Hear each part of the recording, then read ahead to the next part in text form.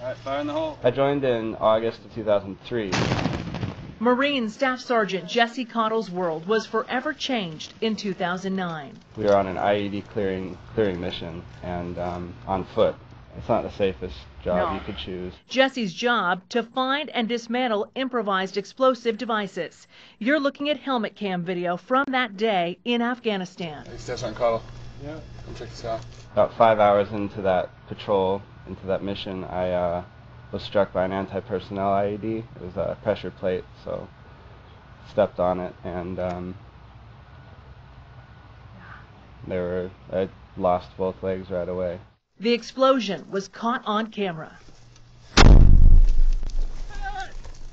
Cottle! Cottle! Cottle! Cottle!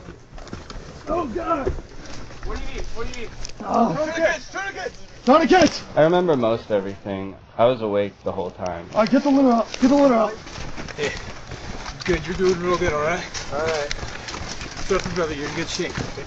Alright.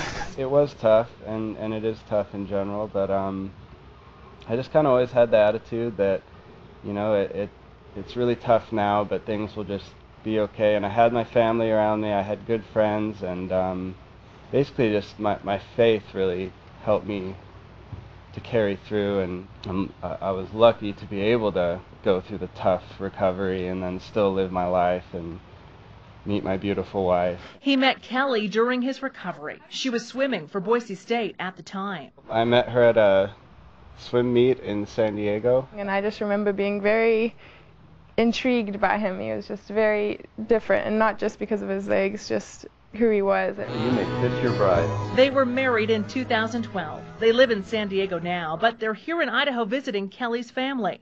While they were here, they took family portraits. It was a normal photo shoot. It was just we finally all got together, and Jesse had his legs on and everything. Photographer Sarah Ledford suggested a picture in the water. So we said, well, you could just pop your legs off and then get on one of our backs, and we'll take you in. And so, because that's just how I. It's how we get around sometimes, like at the beach do or wherever. Yeah, we do it all the time. It's just pretty normal. So um, he hopped back on my back, and then Sarah was like, "Oh, we'll take some couple shots." Ledford posted one of those shots, this one, on her Facebook page. She had no idea the image of Kelly carrying Jesse on her back would get the reaction it did. overwhelming. Over, I can't even keep up with my page. Thousands of likes, hundreds of shares and comments. The picture just blew up. The, I mean, America just fell in love with Jesse and Kelly. God bless the both of you, and thank you tremendously for your sacrifice for our freedom. You are a hero. What's it like to see these comments, Jesse? It, again, just speechless. I, I, having that kind of impact, it's, it's, it's very humbling. My Yeah. first reaction was I wanted to just be able to reply to Mhm. each one, but then they kept.